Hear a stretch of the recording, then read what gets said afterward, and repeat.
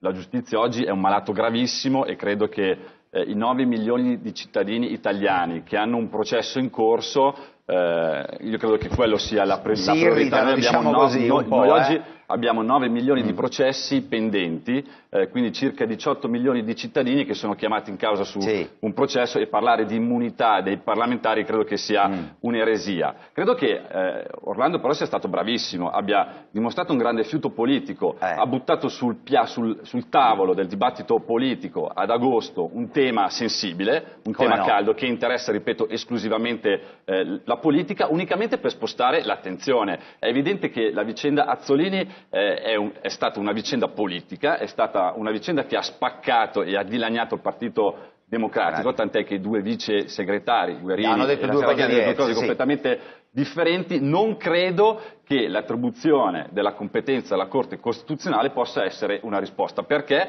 Perché la Corte Costituzionale ha dimostrato, con tutto rispetto, per l'amor di Dio, ha dimostrato negli ultimi anni di non essere Sì. quell'organo terzo e imparziale che dovrebbe essere invece per Sì. Costituzione. Spesso e volentieri eh, la Corte è entrata a gamba tesa su scelte Sì. della politica. Io discuterei di altro invece, ad esempio, e non se ne parla mai, delle logiche correntizie che dominano all'interno della ma- eh, magistratura. Sì. Non lo dice Questo è un- nessuno. è un eh, tema evergreen, nel- mi Nell'ultimo di decreto sul fallimento sono stati prorogati 100 magistrati che dovevano andare in pensione, che sono stati prorogati di un anno semplicemente perché il CSM, nella logica del contrasto tra le correnti, non è riuscito a fare le Sì. 100 nomine. Ecco, io credo che il rapporto politica-magistratura, che è un rapporto che si porta dietro, un conflitto che si porta dietro eh, da anni, dovrebbe essere risolto o quantomeno affrontato salvaguardando l'autonomia e l'indipendenza della magistratura ma anche della politica.